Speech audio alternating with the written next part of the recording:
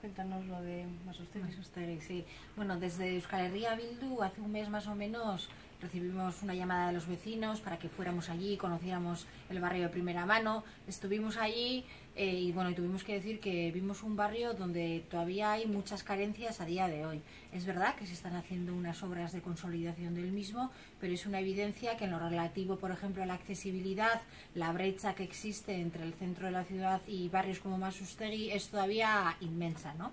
Estuvimos con distintos vecinos con los cuales elaboramos una propuesta con diferentes puntos que estamos trabajando y hubo una cuestión que nos llamó la atención sustancialmente y es que eh, bueno, el barrio, que es un barrio que como ya sabéis se está consolidando, se está legalizando porque hasta ahora había estado en una situación irregular, bueno, pues en estos momentos a escasos metros de las viviendas está la línea de alta tensión eh, de Iberdrola, ¿no? Es algo que en los barrios del centro de la ciudad evidentemente no pasa y que, bueno, nosotros creemos que en Masustegui hay que abordar. Eh, nosotros lo que estamos planteando y lo que vamos a llevar al pleno el próximo jueves es que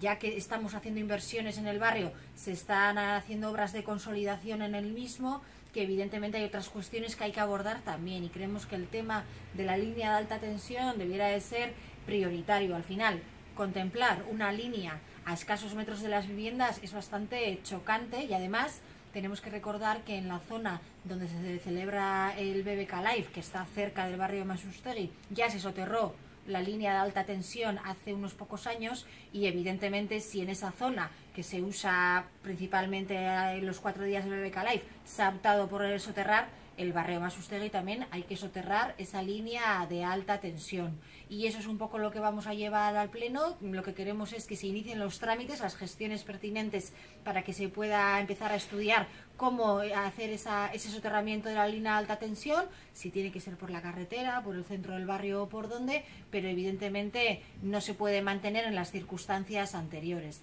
Y como decía, esa es una de las cuestiones que vamos a empezar a abordar con el barrio Masustegui, pero luego hay otras cuestiones también que son importantísimas como el tema de la accesibilidad y los autobuses que llegan hasta, hasta el barrio y las dificultades que tienen los vecinos para poder llegar a sus viviendas y por lo tanto a partir de septiembre seguiremos trabajando en lo relativo al barrio Masustegui.